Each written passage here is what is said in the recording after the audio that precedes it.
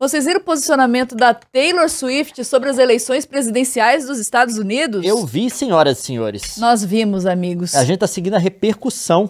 Eu preciso ser muito transparente sobre os meus planos de verdade, né? Para essa eleição como Eleitora. como eleitora. O jeito mais fácil de combater a informação falsa é com a verdade. Eu vou votar na Kamala Harris e no Tim Waltz para eleição presidencial de 1924. 2024. 2024, é isso. Eu vou voltar pra arroba Kamala Harris porque ela luta pelos direitos e pelas causas nas quais eu acredito que precise de um guerreiro pra poder lutar por elas. Eu acho que ela tem uma mão firme, É uma líder talentosa. talentosa. É. Eu acredito que nós podemos alcançar muito mais nesse país. Se ela nos liderar com calma pelo, e não com caos. Eu fiquei tão emocionada, impressionada pela escolha do vice dela, o Tim Waltz, que se posicionou a favor, em defesa, né, dos direitos LGBTQ+, IVF, eu não sei o que é, perdão, e do direito das mulheres. Sobre o seu próprio corpo por, décadas. Eu fiz a minha pesquisa e eu fiz a minha escolha. A sua pesquisa é sua para ser feita. A escolha é sua para ser feita também. É a sua escolha. E eu também quero dizer, principalmente para pessoas que vão votar pela primeira vez. Se lembrem que para votar você deve ser registrada. Eu também acho muito mais fácil vo- votar mais cedo. Nos Estados Unidos você pode, vários lugares permitem que você vote antes da data. Antecipado. É antecipado. Eu vou linkar onde você se registra e como encontrar os lugares para votar mais cedo e essas informações no meu story. Com amor e esperança, Taylor Swift, uma senhora de gato sem filhos. Uma mãe de gato sem filhos. Mãe de gato sem filhos. Aí foi o shade pro É, vice beleza. do Trump. É porque o J.D. Vance diz que só quem apoia Harris são mulheres sem filhos, é mães de gato sem Mãe filhos. de gato sem filhos. Ela foi sensacional aqui. Porque, assim, o cara, esse vence, ele ataca as pessoas que são contra o Trump, que se levantam contra o Trump por causa de objetivos concretos, né? O Trump é um cara com discurso misógino. Direitos de mulheres nos Estados Unidos estão ameaçados com o discurso misógino que ele defende. E o, Van, o Vance, ele consegue ser pior que o Trump nas besteiras que ele fala. E ele meio que rotulou todas as pessoas que se levantam com posições assertivas, objetivas e concretas contra a chapa deles, como se fossem mulheres malucas, entre aspas, sabe? Aquela coisa. Uma figura que você. É, da- da pejorativa, É, a mãe do gato que ficou sozinha, abandonada, não tem. Sabe? Porque é essa visão que eles têm de mulher mesmo. É- eles meio que são muito transparentes no que pensam. E na hora que ela fala isso, ela tá dizendo aqui, é pra você ser o babaca. tipo, toma. Parece que o Trump, parece que em privado a galera tá meio. Até o Trump, tipo assim, tá arrependido de ter nomeado ele de vice, né? Sim. Porque o cara, ele consegue ser mais desagregador ainda. É, porque o que que acontece? Ele é aquele tipo de cara, e eu vi um pouco sobre a vida dele, que é o que o cara que fala o que precisa pra poder se promover na vida. Porque ele atacou o Trump na eleição de 2016. né? Ele era anti-Trump. Porque o establishment do, do Partido Republicano era anti-Trump. Mas acabou que o Trump venceu as prévias e, tipo, tem que me engolir. Hoje ele é a maior força do partido. E ele fala, tem várias falas dele falando mal do Trump. Aí, agora que o Trump falar do Trump é o que coloca ele na frente, ele defende. Ele é um oportunista. né? É, é, exatamente. Não só isso, mas ele tá apoiando muito nesse, nesse discurso da alt-right de internet, que não é o discurso conservador, vamos colocar, tá, gente? Como a gente já explicou aqui, é reacionário. Tem um É, corte no vídeo, no- É, nesse canal é, sobre isso. Você pode clicar lá, vou deixar até um card aqui E- nessa edição. Ele abraçou essas alas mais extremas da internet como forma de se promover. Parece que foi até assim que o Trump viu ele como uma possibilidade de alguém que ia ajudar na promoção dele online e tal. Mas ele começou uns trecos assim, os ataques meio é, misóginos de fato, um negócio meio de teoria de conspiração. Totalmente. É, É, extremou, ele que né? começou, eu não vou falar aqui porque vai que o YouTube desmonetiza, mas aquele negócio dos cachorros. Foi dos ele que começou? Parece que ele é Não, uma das isso pessoas virou meme, centrais. né? Vocês viram. Eu não sei se vocês chegaram a ver o debate, mas com certeza esse meme vocês devem ter visto. É. Que foi no momento em que a Kamala deu uma apertada no, no Trump, ele deu uma descompensada e ele começou a falar um monte de coisa nonsense. E uma dessas coisas foi uma fake news contra imigrantes. Isso viralizou de tal forma nas redes de vídeo curto, o povo fez mixagem de música. Assim, geralmente o Trump ele reverte as coisas que são pejorativas pra ele, mas isso ele não reverteu não. Tá bem pe- tá bem pejorativo Ah, assim, ele é, tá bem, ele tá sendo bem zoado mesmo. Deixa eu falar, a Kamala, esse negócio dela não ter aparição pública, coisa do tipo, acho que estavam trancado com a mulher Treinando, né? num ringue. Todo mundo, até os, os conservadores concorda, a galera da Fox News concorda que o Trump perdeu o debate. Isso daqui veio depois do debate, tá? Foi Acho que é- durante, foi, na hora do debate. É, eu acho que ela colocou isso daí porque provavelmente já estava claro que a Kamala ia vencer. O que que Foi- acontece? Foi num timing bem bom mesmo, porque lá no debate alguém gritou pra Kamala e falou: a Taylor Swift acabou de manifestar seu apoio, apoio a você publicamente. Isso ajudou a descompensar o Trump ainda mais. Sim. Porque ele usava até música dela e inteligência artificial pra fazer imagens de que ela estaria apoiando ele. Porque é um nome fortíssimo, né, gente? É, não, mas isso daqui teve um impacto. Parece que o link que ela tweetou aqui recebeu já 400 mil visitas de pessoas para poder 500 mil, meu 500 bem. mil para poder É. se registrar. esse link que ela passou ali pra galera registrar o voto, foi como primeiro votante. Eles tinham, em média, visitas, 30 mil visitas diárias. E no dia que ela publicou, meio milhão de pessoas acessaram. Então, assim, não tem como a gente saber o quanto isso vai se refletir em voto pra Kamala, que ela tá apoiando. Mas com certeza é um impacto gigantesco, né? Não sei quanto é, mas que teve impacto, teve. É, parece mostrar a foto depois da neta do Trump que fez aniversário de, de- com tema de Sério. de Taylor Swift. Taylor Swift. Mas enfim, o negócio do debate que eu achei que foi uma, uma bizarrice nesse sentido, porque a gente viu o Trump perder. Na televisão, que é o reino dele. Não, o, o palco é o ambiente natural. No palco, ele, ele sempre foi o topo da, da, da cadeia alimentar. É. Porque ele é Assim, showman, né? Ele é showman total. Tipo, eu lembro quando ele saiu nas, nas primárias lá dos republicanos, que ele, ele foi contra o establishment do partido naquela época. Hoje tá todo mundo no bolso dele. Mas na época ele era. A galera não queria ele. Ele parava nos debates das prévias contra os outros candidatos republicanos, ele destruía a galera. Você, você abrir o microfone pra ele, ele vai pisar em alguém, ele vai pisar, pisou, pisou. É, porque ele pisou. não tem limite mesmo, Não, né? ele, não, ele é o showman. Ele, o cara foi era de reality show e coisa do tipo, ele sabe. Ele sabe fazer. Ele fez aquele programa do... O aprendiz. O aprendiz. O aprendiz era, sabe, o ele é o Roberto Justus americano. É o primeiro, né? O Roberto primeiro, Justo é, meio que copiou, meio é. copiava ele. Meio não, deve ter comprado os direitos do programa. O que eu achei, que eu fiquei impressionado, foi ele ter perdido esse negócio. E parece que ele falou que não vai voltar mais, não vai ter outro debate. Parece que ele correu. Não, então, ele no- na hora que aconteceu, ele parece que tinha falado que, to- que corria. Aí o povo falou: ah, tá com medo, tá covarde, não quer. Aí ele falou que não que ia voltar. Aí, depois que ele viu o impacto do negócio, porque realmente foi assim, avassalador até a Fox News, gente. A Fox News lambe o, o chão por onde ele pisa, deu a derrota pra ele. Aí ele começou a inverter a narrativa, que é uma especialidade, dizer que ela estaria querendo um novo debate porque ela perdeu e é só quem perde que pede revanche e tudo mais. Mas vem cá, ele sabe que ele perdeu? Porque quando que o Trump, se tivesse ganhado, rejeitaria uma oportunidade de ir pra TV de novo, entendeu?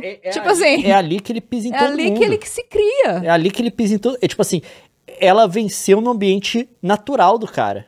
E eu, eles devem ter preparado demais, porque você fica observando. Quem já participou desses, dessas coisas com debate, coisa do tipo, eu já participei dessas coisas da, da simulação da ONU, coisa tipo. Tem umas coisas assim que você pega que, que, que, que De a galera técnica, faz. né? Por quê? O Trump, ele tinha que ter a resposta pronta pro assunto no qual ele é o mais fraco. O que, que é a resposta pronta? Você tem que pegar, é a resposta de comitê e de grupo de foco. Você tem que ver com qual parte da população você tem que conseguir dialogar quando você for responder esse ponto, porque você está perdendo, você tem a chance de crescer mais com eles. A galera da sua equipe vai bolar a resposta, você vai ensaiar, eles vão testar isso com grupos de foco, tá? Tipo assim, que é muito importante. E você vai, você vai ensaiar, vai estar na ponta da língua, você vai, você vai repetir aquilo lá ponto por ponto. É um negócio vital. Ah, mas ele não é muito disso, coisa tipo, não, não interessa, aquilo lá é uma guerra, você tem que fazer o que vai, te, vai fazer você vencer a guerra. Aí me vem no tópico do aborto, ele tinha que ter resposta pronta, porque é o tópico no qual ele é mais fraco. Aquele mais forte é na migração. Aborto é onde ele é mais fraco. Por quê? Ele é o que nomeou os juízes que, que derrubaram o, como chama, Roe vs. Wayne, uma coisa assim, que era a decisão que protegia o negócio do, do aborto em nível nacional. Ele destrói isso, porque ele fala que, ele vira e fala, não, todo mundo queria o fim disso.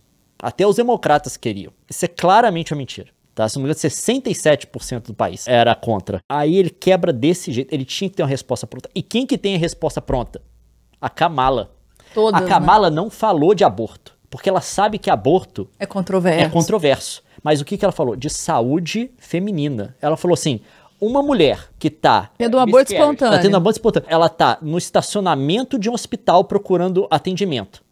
E o médico e o plano de saúde, não lembro dos detalhes, eles estão com medo de dar atendimento com aquela mulher porque eles podem ser processados depois por aborto. ela não colocou em termos de quem é favor, Moral, é, moral, nada, favor. Não, ela co- colocou assim: qualquer mulher consegue se ver nessa posição. É um, é um objetivo o negócio, é matemático Eu vou falar. quase. E ela entregou isso. Você vê que a voz dela diminui. Ela fala, a Com voz dela dá, dá uma, né? não, dá uma tremida.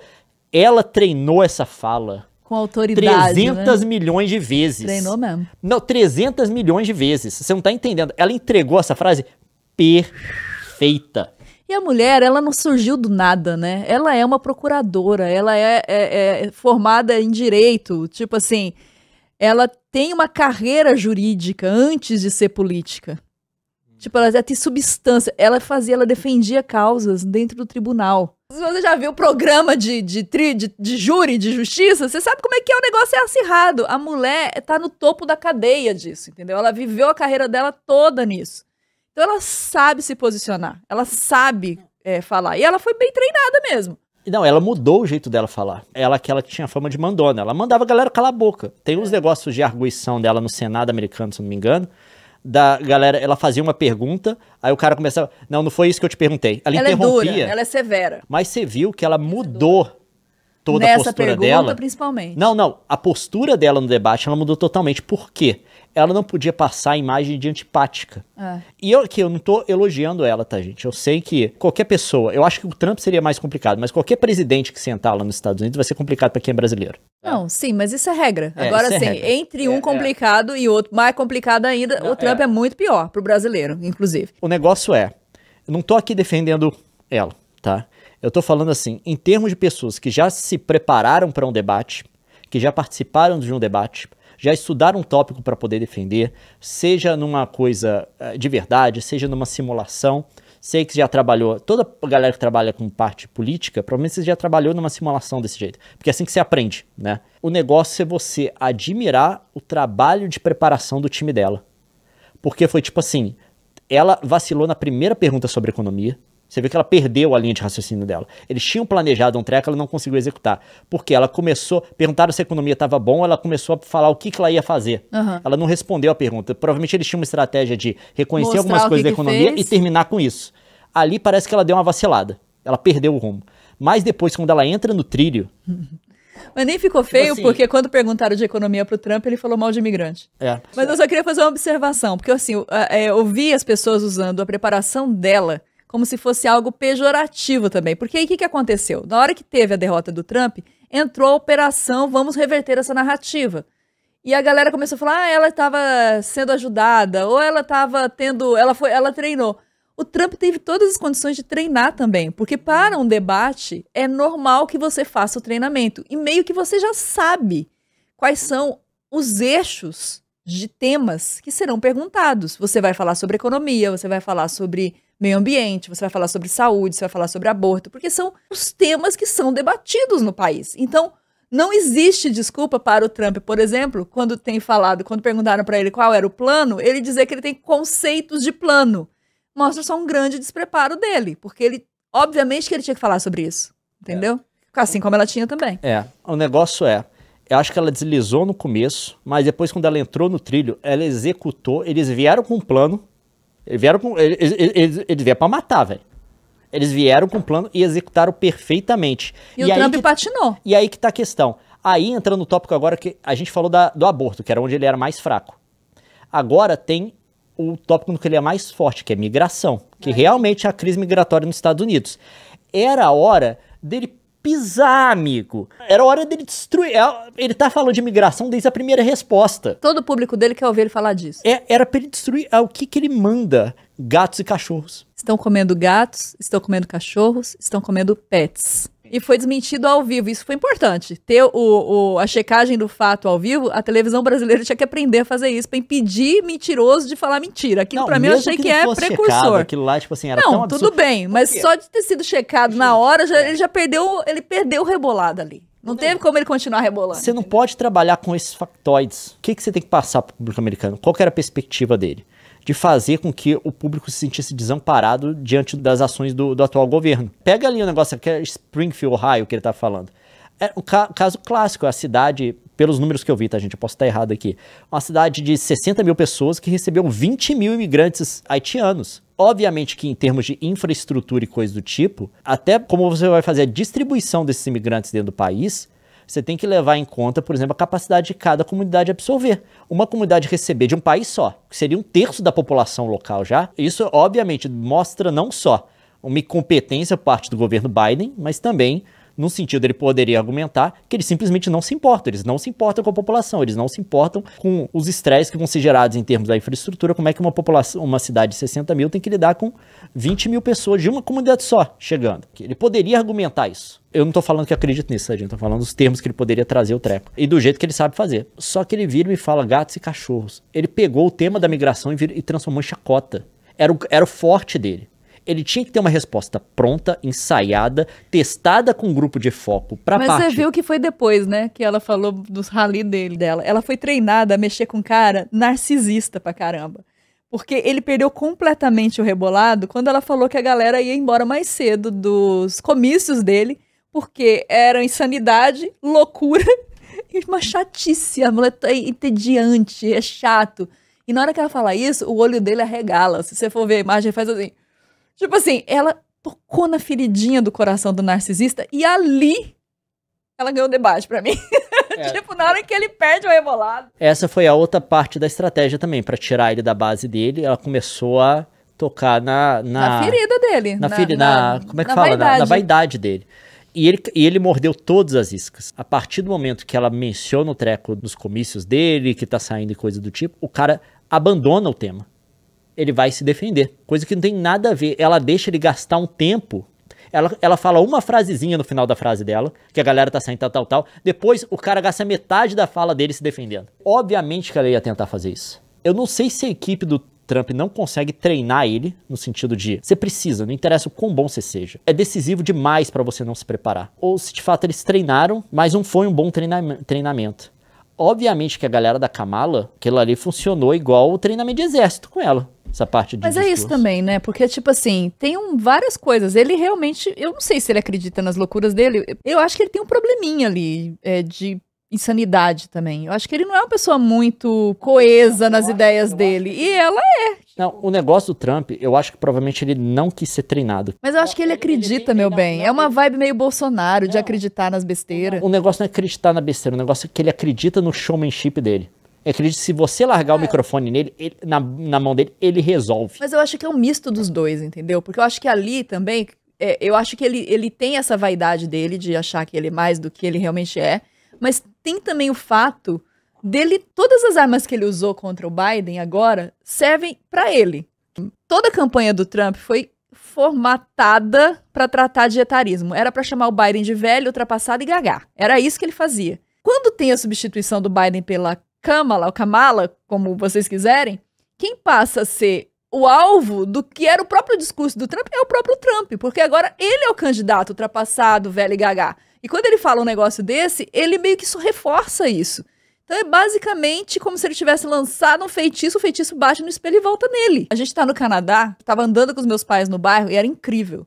Todas as casas estavam exibindo o debate. A gente passava, era todo mundo assistindo, parecia a Copa do Mundo aqui. Não, vários canais de TV, é. acho que foram 61 milhões nos Estados Unidos assistindo. É, é relevante não só para quem é do Canadá, porque assim, a eleição americana ela é relevante no mundo todo, né? Ela influencia, e ainda mais essa, porque a gente não consegue imaginar o, o movimento de extrema direita como algo desconectado desses movimentos nacionalistas, que o do qual o Trump é o representante na principal economia do mundo. Esse olhar interessado sobre esse assunto é porque a gente sabe que isso pode impactar movimentos em outros lugares. O enfraquecimento dele, obviamente, pode impactar o enfraquecimento em outros lugares. Então é claro que isso é um debate que fala de sociedade e interessa para todo mundo, né?